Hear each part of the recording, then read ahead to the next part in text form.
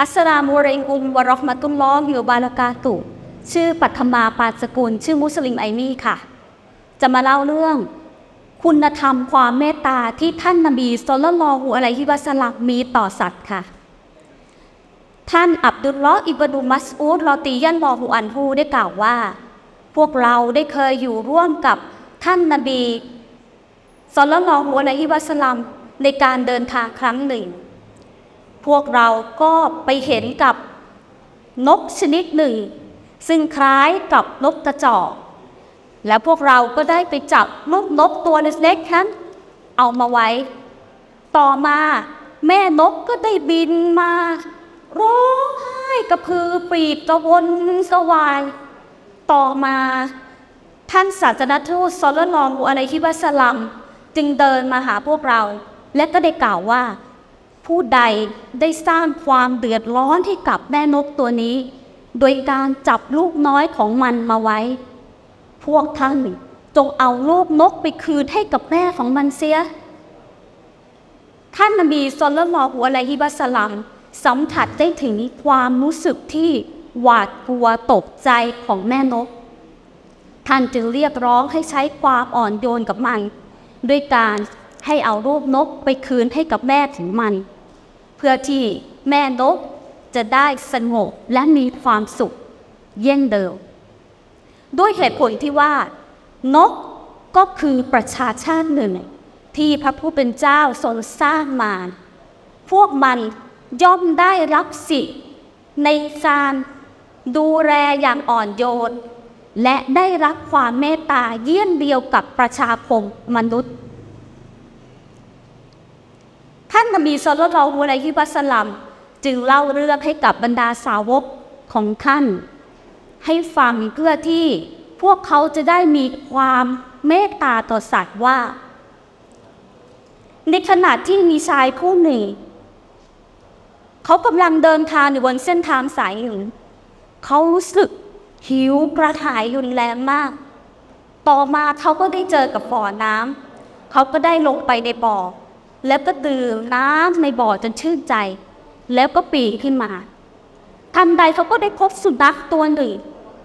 มันกำลังแลบลิ้นเลียดินที่เปียกน้ำด้วยความหิวกระหายอย่างมากเช่นกัน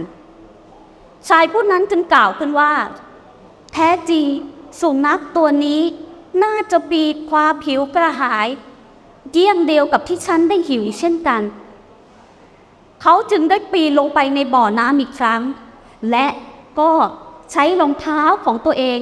ตักน้ำขึ้นมาจนเต็ม และก็ใช้ปากของเขาคาบรองเท้าที่ใส่น้ำนั้น แล้วก็ใช้มือและเท้าปีนขึ้นมาจากบ่อ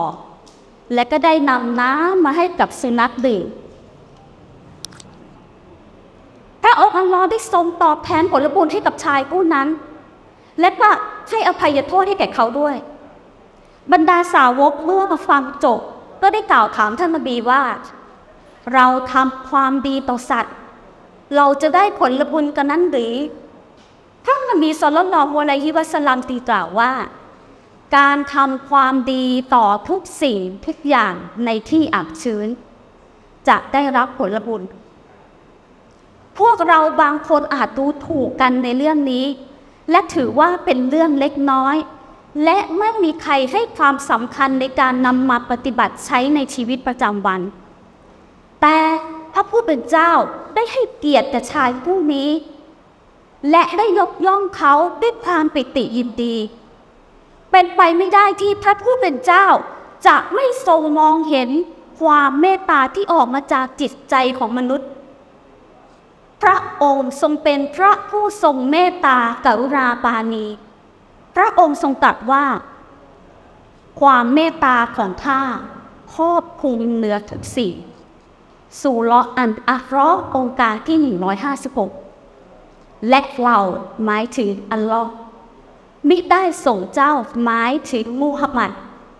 มาเพื่ออื่นใด ยกเว้นเพื่อ เป็นความเมตตาแก่ประชาชาติทั้งหลายสู่ลออันอัลลอฮ์องค์การที่ 107 ค่ะเรื่องที่พูดมาทั้งหมดเราก็จะเห็นได้ว่านะคะ คุณธรรมความเมตตาที่มีต่อสัตว์นั้น ถือเป็นประเด็นสำคัญ ของอารยธรรมในอิสลาม พวกท่านจะพบขุนทรัพย์อันยิ่งใหญ่ ของคุณธรรม ที่ได้กล่าวถึง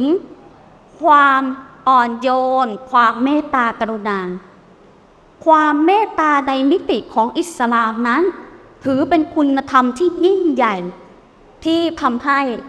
ผู้ที่มีความเมตตานั้นได้เข้าสู่สวรรค์ค่ะยาสัตว์มุนลองคอยรอนอัสสลามุอะลัยกุมวะเราะมะตุลลอฮิวะบะเราะกาตุฮ์ค่ะ